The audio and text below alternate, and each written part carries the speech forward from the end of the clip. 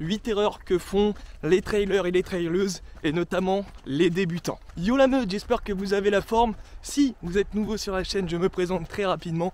Je suis Axel, créateur de la chaîne Wolf Trail qui aide les trailers et les traileuses de tout niveau à s'améliorer en trail running, à le découvrir aussi pour les débutants. Et on se retrouve sur une toute nouvelle vidéo sur la chaîne.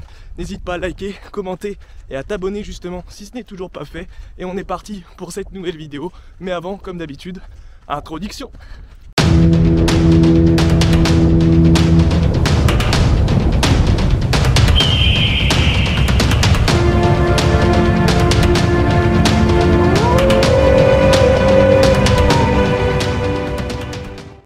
Hop là Ok, tac On a terminé ma sortie en endurance fondamentale. C'est pour ça que je suis pas trop trop essoufflé non plus, ça s'est plutôt bien passé. Donc on se retrouve comme prévu sur la nouvelle vidéo aujourd'hui où on va parler des 8 erreurs que font euh, quasiment tous les trailers et traileuses, notamment au tout début. Après il y en a même avec un peu d'expérience, 6 mois, 1 an d'expérience, c'est possible encore que vous fassiez ce genre d'erreurs. Et aujourd'hui, ben, j'avais envie de vous les présenter. Bon, c'est des erreurs pas très dramatiques pour la majorité d'entre elles.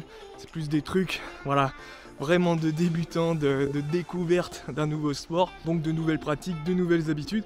Et j'avais vraiment envie de vous partager ces, erreurs-là pour éviter qu'elles persistent euh, selon ben, votre niveau, parce que c'est vrai qu'il y a certaines euh, de ces erreurs qui peuvent vous emmener à, des petites blessures ou à des, de mauvaises expériences. Donc j'avais vraiment envie de vous partager ça aujourd'hui.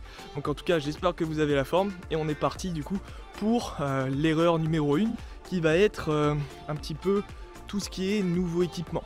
Eh bien oui, euh, soit vous êtes nouveau dans le trail running, donc euh, vous allez avoir plein de nouveaux équipements que vous n'avez pas eu dans d'autres sports.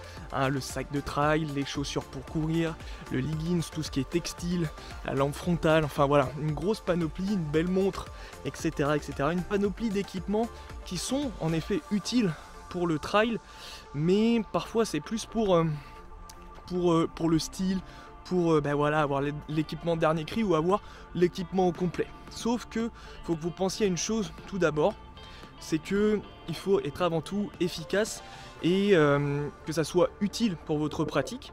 En effet, vous faire plaisir, c'est important, mais que ça soit utile pour votre pratique, puisque la plupart du temps, les équipements plaisir, bah, ils vont être utilisés une fois, voire jamais, et ils vont rester au fond d'un tiroir, au fond d'un placard, ils ne seront jamais utilisés. Mais encore pire, c'est qu'il y en a qui vont surtout choisir leurs équipements pour le jour de course. Donc ça veut dire qu'ils vont prendre leurs nouvelles chaussures, euh, leurs nouveaux textiles, leurs nouveaux leggings euh, de sport pour aller courir pour le jour de course seulement. Tiens, je vais le sortir aujourd'hui ou tiens, je vais acheter ça pour, ce, pour cette course-là sur, sur les Vosges, etc. Mais sauf que non, justement, et c'est ce que je disais un petit peu en intro, c'est que ça peut être synonyme de petits soucis, euh, petits soucis musculaires, c'est ce que je voulais dire, et aussi ben, un, problème de confort. Parce que prendre par exemple de nouvelles chaussures pour une première course, c'est pas le meilleur, je vous le dis tout de suite, c'est même interdit quasiment. Prenez les chaussures avec lesquelles vous avez l'habitude de vous entraîner, surtout prenez l'équipement avec lequel vous avez l'habitude de vous entraîner pour avoir en fait euh, cette connaissance là de votre matériel. Ça va vous aider aussi psychologiquement parce que bah, vous avez l'habitude de courir avec ces chaussures là, d'avoir ce sac de trail là, d'avoir cette GoPro là si vous courez en nocturne ou en semi-nocturne. Ce genre de choses là c'est vraiment très très important. On ne part pas à l'abordage d'une course de plus de 10, 15, 20, 30 km avec des équipements qu'on n'a pas testés à l'entraînement avant. Ok? Faut vraiment enregistrer ça pour éviter tout ce qui est souci euh, largement évitable en fait auparavant. Donc cette erreur numéro 1, on l'a fait quelques fois quand même. Personnellement, je l'ai jamais fait, mais j'ai vu énormément de trailers et de trailers que j'ai pu accompagner ou même euh, en direct sur les courses. Il faut vraiment éviter ça. En erreur numéro 2 qui va ressembler un petit peu à l'erreur numéro 1, on ne part jamais euh, dans une course, on s'engage jamais dans une course en utilisant un ravitaillement, de l'alimentation, que ça soit au niveau bah, de l'alimentation ou de l'hydratation, donc de la nutrition qu'on n'a jamais testé au préalable à l'entraînement. Ça c'est vraiment interdit parce que des problèmes gastriques, je peux vous dire que j'en ai eu en faisant cette erreur-là au début, en testant un truc, les nouveaux cachets à, à Decathlon pour avoir de l'énergie durant la course avec mon truc citronade euh, dans, mes petites bouteilles d'eau, mes petites flasques euh, durant ma course. Et eh ben pas du tout, super mauvaise idée, d'accord Donc évitez ça. Ça encore une fois, c'est comme l'équipement, il faut tester au préalable à l'entraînement. Il vaut mieux être malade à l'entraînement quand on est à côté de chez soi, qu'on peut aller aux toilettes, etc. que en pleine course, en plein 40 km, euh, au bout de 10-15 km on a mal au bide, ah ben super, on a fait 3 heures de route pour en plus être malade et pas finir euh, notre course et ça se trouve notre objectif. Donc ça encore une fois ça se teste à l'entraînement, c'est vraiment important, retenez ça. Alors en troisième erreur que l'on fait quand on débute, c'est euh, d'utiliser le trail running pour maigrir. Alors oui, c'est un bon outil quand on a vraiment un surplus de graisse on va dire, mais ça va pas permettre réellement de maigrir le trail running, à part si c'est vraiment l'objectif, maigrir. Mais euh, ne pensez pas avoir des performances, parce que ben, plus vous allez courir, plus vous allez vous entraîner, plus vous allez manger, d'accord? Parce que le sport d'endurance demande énormément de consommation de graisse, justement. Donc c'est pas un mal d'avoir un, surplus, on va dire, de, masse graisseuse pour un sport d'endurance comme le trail running. Mais en tout cas, cette troisième erreur, elle est souvent faite parce qu'il y a beaucoup de personnes qui viennent, même dans la course à pied, hein, mais aussi dans le trail running, pour perdre du poids, pour perdre 3 kilos en une semaine. C'est pas très conseillé déjà, mais sachez une chose, c'est que ça ne se passe pas comme ça parce que le sport d'endurance va vous demander bah, une bonne alimentation et surtout vous demander un gros apport en alimentation parce que votre corps va en demander, plus les sorties vont être longues, plus le volume et les fréquences d'entraînement vont être longues aussi. Et l'erreur numéro 4, c'est une erreur que j'ai fait aussi euh, quand j'ai vraiment débuté le, le, trail running et je pense surtout que cette erreur j'y pense parce que je le faisais euh, lorsque je faisais des courses, des crosses euh, à l'école ou ce genre de choses et je pense qu'on a tous déjà fait. Et même si on était très jeune à cette époque là on arrive aussi à le faire quand on a 20, 25, voire 30, 40 ans je pense, je les ai pas encore mais je pense que c'est possible qu'il y en a certains qui le font aussi. C'est de caler sa course par rapport à d'autres coureurs, par rapport à d'autres trailers ou trailers. Donc c'est-à-dire, pour vous donner un exemple très classique que moi j'ai déjà fait sur mes premières courses, c'est de se dire que tiens, euh, Roger là-bas, euh, il a pas pris de ravito, donc moi, je prends pas de ravito non plus. Parce que lui s'est pas arrêté, je m'arrête pas, j'en ai pas besoin. Si lui n'en a pas besoin, j'en ai pas besoin. Alors que comme je vous l'ai dit beaucoup de fois déjà sur pas mal de vidéos, c'est que on est tous différents, on a tous nos apports, si on parle vraiment de cette situation-là, nos apports caloriques différents, nos besoins énergétiques différents. Donc se caler sur le rythme d'un coureur sans le connaître, euh, ça se trouve il a euh, un plus gros volume d'entraînement que moi, un meilleur niveau, une meilleure expérience que moi, bah ça sert à rien du tout parce que vous allez totalement exploser parce que lui est bien meilleur que vous et bien meilleur que moi. Donc euh, bah, j'aurais fait clairement le mauvais choix ou à l'inverse, se caler sur quelqu'un qui est de plus faible niveau.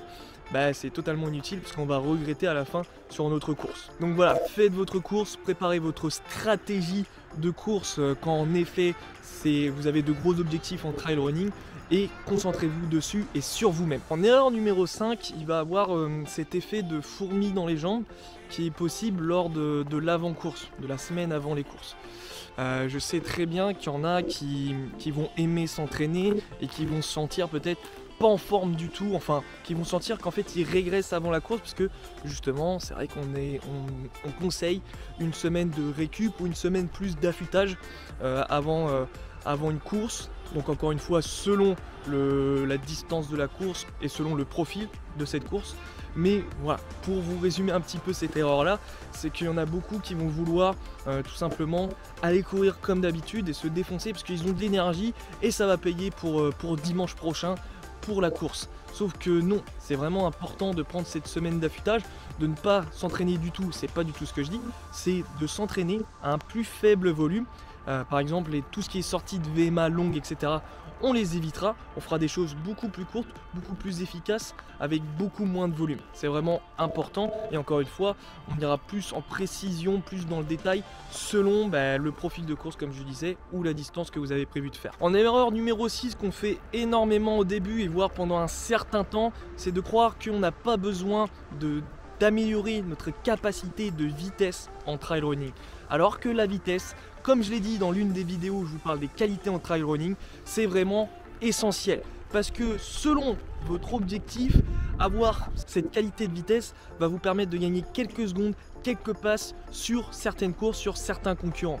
Donc il est vraiment important aujourd'hui de la travailler. Ça fait partie, on va dire, de la grande famille du cycle de force. Il est vraiment très important d'avoir cette qualité-là. On pourrait dire que oui, mais c'est un sport d'endurance, il n'y a pas besoin d'être rapide. Mais je peux vous dire que sur des montées courtes ou quand on a envie justement de mettre un petit punch à la fin de notre course pour bah, être dans les temps par rapport à mon objectif ou à mon objectif de place, mais gratter les 2-3 personnes qui sont devant moi, bah, c'est très très important. Donc montrer que les trailers sont rapides et les trailers sont rapides, améliorer votre vitesse aussi, faites un cycle dessus, c'est vraiment très très important. En erreur numéro 7, alors ça j'en ai entendu parler, j'ai pu en effet l'observer après qu'on m'ait dit ça, parce qu'on m'avait prévenu que ça pouvait arriver, c'est euh, se laisser emporter par l'euphorie d'avant-course. Eh bien oui, parce que c'est vrai que sur les courses de trail, s'il y en a qui n'ont jamais, fait de course de trail et que vous êtes sur cette vidéo, bah, c'est vrai qu'il euh, y a cette euphorie, il y a l'effet de groupe, il y a beaucoup de monde, tout le monde est joyeux en trail running, tout le monde est très respectueux, tout le monde parle à tout le monde, même si vous êtes tout seul, certains vont venir vous voir si vous avez besoin d'aide, etc.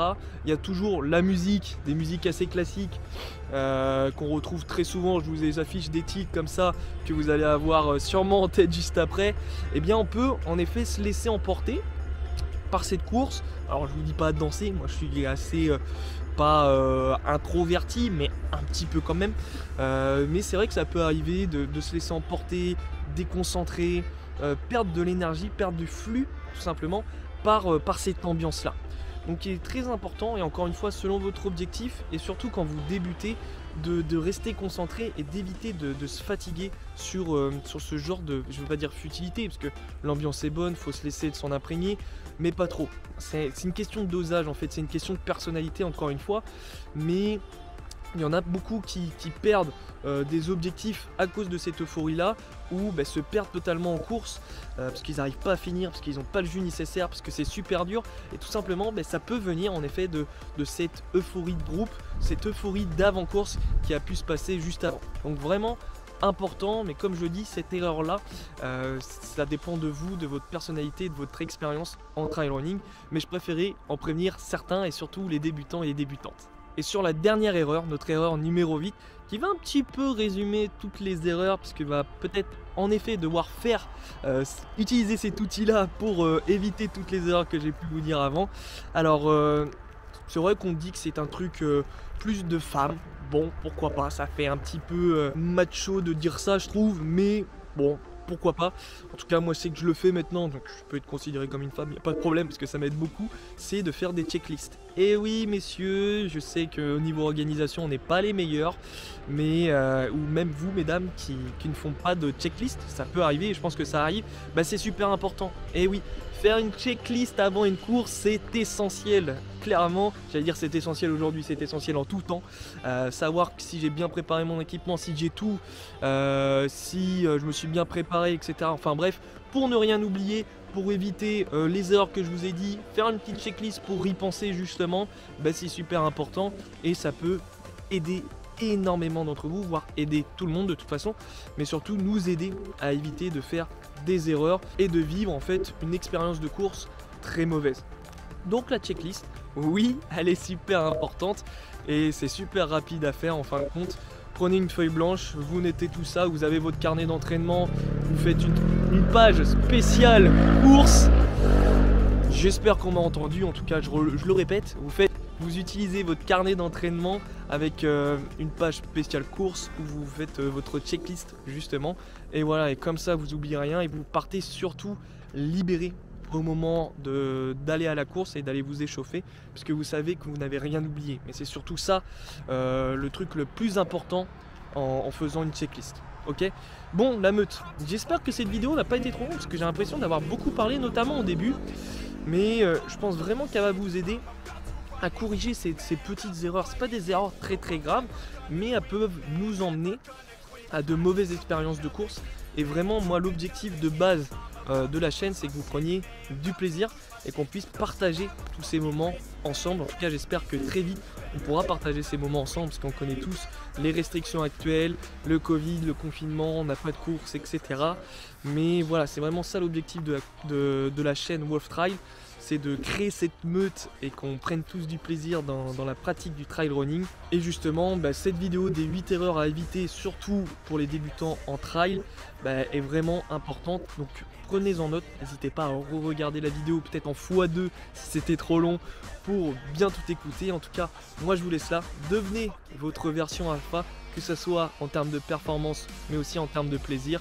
Et je vous laisse là, je vous souhaite une superbe journée Aujourd'hui, j'étais sur un spot de trail, enfin un spot de trail, un sport, un spot pour mon entraînement que j'aime beaucoup. C'est à Sion sur l'océan, c'est la forêt de Sion euh, à Saint-Hilaire-de-Riez c'est vraiment un kiff. C'est très sableux, voilà, il y a beaucoup de sable et ça permet de travailler d'autres qualités justement, de travailler différemment et ça, je vous le ferai découvrir dans une prochaine vidéo. Allez, ciao et passez une belle journée.